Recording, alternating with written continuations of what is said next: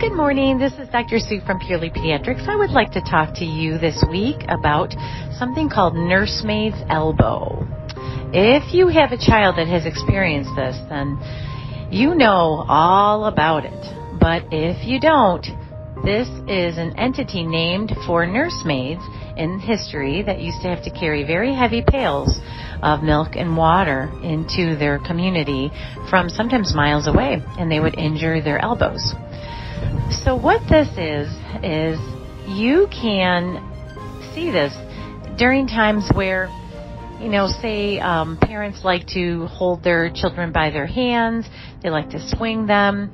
You know, when we're walking, little ones can be so little when they start to walk that we bend uh, bend down and, and grab their hand, help them walk one or two hands held, and generally kind of pulling them up a bit by their arms because they are so short. So, what this can present as is little ones that just start to cry all of a sudden when there's a mechanism of injury that involves a pull or a tug at the generally the hand or the wrist. Um, it's generally one-sided, but you know you can get this by swinging your little one with two hands uh, as well. So the child will start to cry, and you'll you'll see that they'll kind of hold their their arm, the affected arm, straight down, and the palm is kind of facing the back, the posterior part of the body. You generally won't see swelling, you won't see redness, but you will have a little one that is quite uncomfortable, and it's pretty scary for families, to be totally honest with you. Sometimes it's unwitnessed. We don't always know um, what little ones do when we're our backs are turned, even for a second.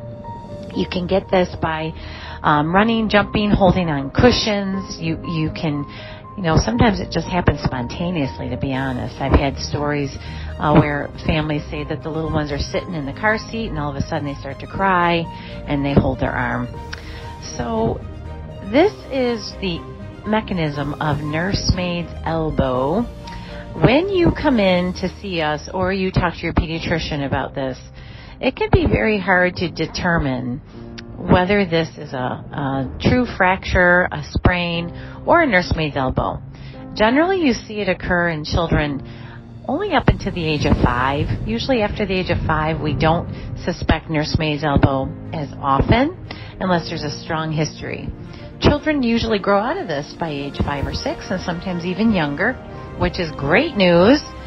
And the reason it occurs is because their ligaments are very loose when we're little ones, and sometimes little ones have looser ligaments than others. So there may even be a, a history of parents having such a thing. But um, it can uh, be a bit of a challenge for us to figure it out. And in the next video that I'm going to provide for you this week, I'm going to talk to you about some of the ways that we can manage this. It's pretty interesting. It's also very rewarding when we're able to diagnose it and treat it all within the same time period.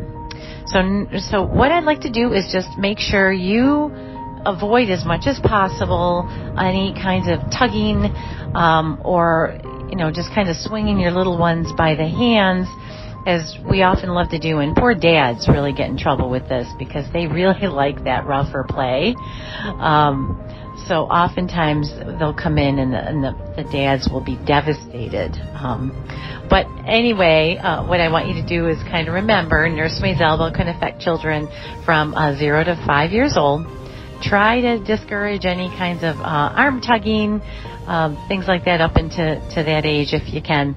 And next time, I'm going to talk to you about how I manage it. All right, guys, have a great day.